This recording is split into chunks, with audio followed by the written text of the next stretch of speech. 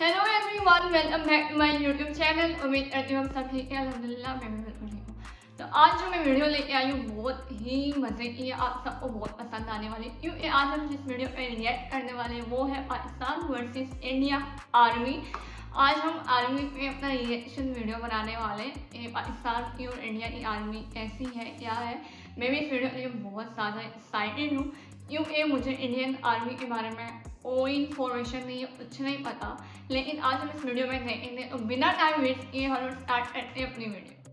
दोस्तों, भारत और पाकिस्तान, इन दो पड़ोसी देशों के बीच की दुश्मनी कितनी गहरी है, इसका अंदाज़ा इसी बात से लगाया जा सकता है कि दोनों ही देश अब तक तीन बार एक दूसरे के साथ फुल स्केल वॉर लड़ चुके हैं और समय समय पर इनके बीच बॉर्डर पर आए दिन गोलीबारी भी लगातार होती रहती है। दोनों ही देशों के बीच खेले जाने वाला क्रिकेट मैच भी किसी जंग से कम नहीं हाँ, होता है तो है। जो कि स्पोर्ट्स के वर्ल्ड में दुनिया की सबसे बड़ी राइवलरी के तौर पर अपनी जगह बना चुका है। ऐसे में जब भी कभी भारत और पाकिस्तान के बीच बॉर्डर पर जंग के बादल गहराते हैं तब एशिया सहित पूरी दुनिया की साँसें थम जाती हैं क्योंकि ये दोनों ही देश न्यूक्लियर पावर हैं जिनके बीच एक ऑल आउट परमाणु जंग छिड़ने की संभावना सबसे ज़्यादा बनी हुई है। अब पाकिस्तान के मुकाबले भारत बहुत ही बड़ा और हैवी मिलिट्री पावर रखने वाला देश है। लेकिन बावजूद इसके पाकिस्तान ने पहले अमेरिका और अब चाइना व तुर्की जैसे देशों के दम पर भारत की हर एक चाल की काट करना सीख लिया है। भारत के latest fighter jets naval warships और मिसाइलों की तरह ही पाकिस्तान भी चीन और तुर्की के साथ मिलकर नए नए एडवांस वेपन्स हासिल कर ही लेता है। भारत जहाँ अब बाहरी देशों से हथियार खरीदने के बजाय अपनी खुद की डिफेंस इंडस्ट्री को मज़बूत करने पर ज़ोर दे रहा है तो वहीं अब पाकिस्तान ने भी चीन और तुर्की के साथ मिलकर कंबाइंड तौर पर नए नए हथियारों का निर्माण करना शुरू कर दिया है। हालाँकि फाइनेंशियली भारत पाकिस्तान के मुकाबले काफ़ी बेहतर पोजीशन में है, जो कि अपनी डिफेंस पर लगातार हैवी डिफेंस स्पेंडिंग करने में सक्षम है। तो वहीं दूसरी ओर पाकिस्तान की आर्थिक हालत भले ही कमज़ोर हो, लेकिन क्योंकि इनकी राजनीति और देश के रिसोर्सेज पर इनकी मिलिट्री का एक बहुत ही बड़ा कंट्रोल है, ऐसे में पाकिस्तान भी अपनी डिफेंस पर तगड़ा खर्च करने से पीछे नहीं हटता है। और फिर भारत का सबसे बड़ा राइवल देश पीपल्स रिपब्लिक ऑफ़ चाइना तो वैसे भी भारत के खिलाफ। पाकिस्तान के रूप में भारत का एक बड़ा राइवल तैयार करने पर तुला ही हुआ है, क्योंकि पाकिस्तान के ज़रिए चीन अरेबियन सी तक अपनी पहुँच बनाना चाहता है और वह पाकिस्तान को भारत के सामने इतना कमज़ोर नहीं पड़ने देगा कि पाकिस्तान में चल रहे उसके सीपैक प्रोजेक्ट्स के तहत किए जाने वाले हैवी इन्वेस्टमेंट्स खतरे में पड़ जाएँ। लेकिन जिस तरीके से चाइना भारत के कई इलाकों में अपने मिलिट्री अग्रेशन को दिखा रहा है, इसको देखते हुए भारत ने अपने डिफेंस को चीन का मुकाबला करने के लिए और भी ज़्यादा स्ट्रॉन्ग करना शुरू कर दिया है तो वहीं उसी प्रकार जिस तरीके से भारत पाकिस्तान से पीओके को वापस लेने की बार बार रट लगा रहा है। इसको देखते हुए पाकिस्तान ने भी अपनी मिलिट्री को भारत के खिलाफ एक काउंटर अटैक करने के काबिल बनाने पर ज़ोर दे रखा है।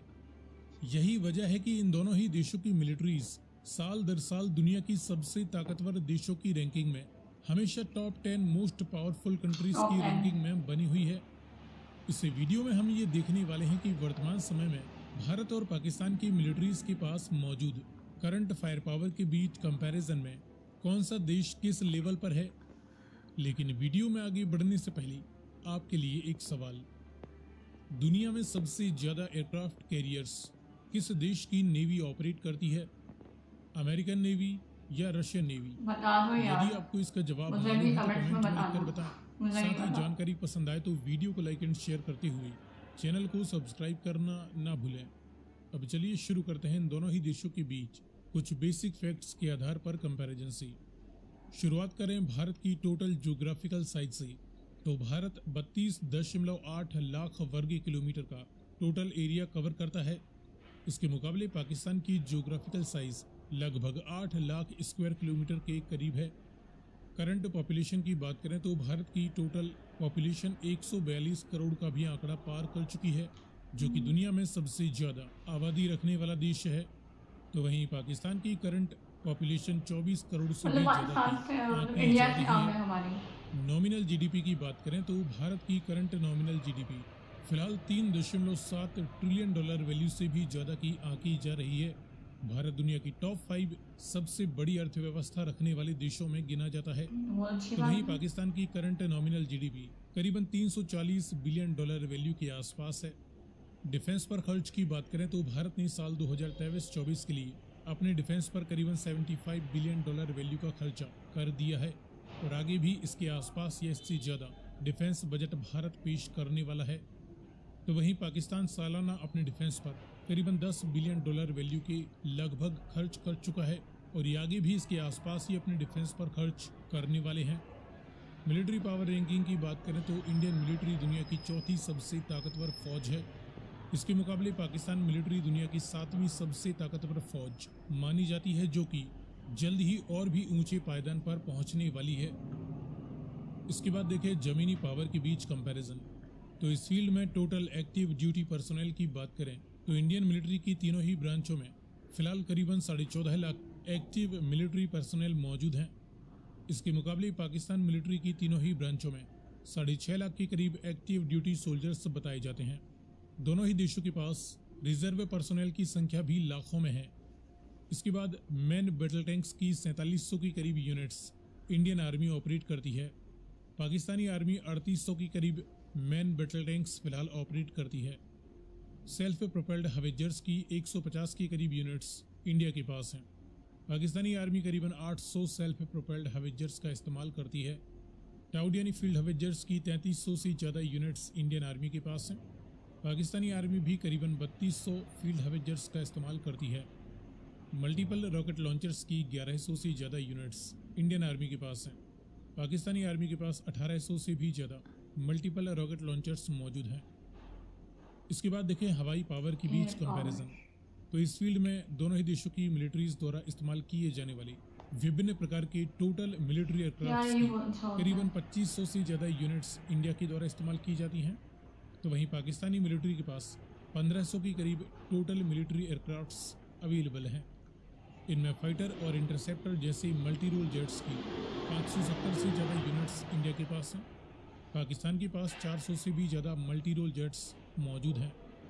डेडिकेटेड ग्राउंड अटैक और बॉम्बर जेट्स की महज 130 यूनिट्स ही इंडिया के पास हैं। पाकिस्तान के पास करीबन 90 डेडिकेटेड ग्राउंड अटैक एयरक्राफ्ट्स मौजूद हैं। कॉम्बैट यानी अटैक हेलीकॉप्टर्स की 150 से भी ज़्यादा यूनिट्स इंडिया के पास हैं। पाकिस्तान के पास करीबन 130 अटैक हेलीकॉप्टर्स मौजूद हैं। मास डिस्ट्रक्शन के न्यूक्लियर वारहेड्स की एक सौ चौंसठ के करीब यूनिट्स इंडिया के पास बताई जाती हैं। पाकिस्तान के पास करीबन 170 न्यूक्लियर वारहेड्स मौजूद होने की संभावना है।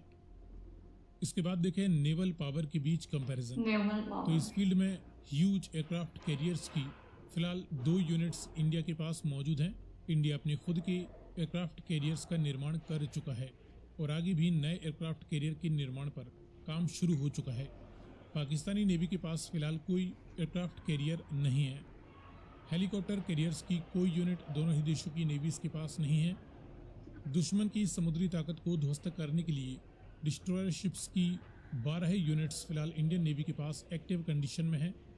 पाकिस्तानी नेवी के पास कोई फुल फ्लेज्ड डिस्ट्रॉयर शिप नहीं है। हालाँकि इनके पास कुछ मिसाइल गाइडेड फ्रिगेट्स हैं, जिन्हें ये अपने डिस्ट्रॉयर के तौर पर इस्तेमाल करते हैं। फ्रिगेट्स की टोटल 12 यूनिट्स फ़िलहाल इंडियन नेवी के पास एक्टिव कंडीशन में है। पाकिस्तानी नेवी के पास फ़िलहाल नौ फ्रिगेट शिप्स मौजूद हैं। कॉर्वेट्स की 18 यूनिट्स इंडियन नेवी के पास हैं। पाकिस्तानी नेवी के पास सात कॉर्वेट्स हैं।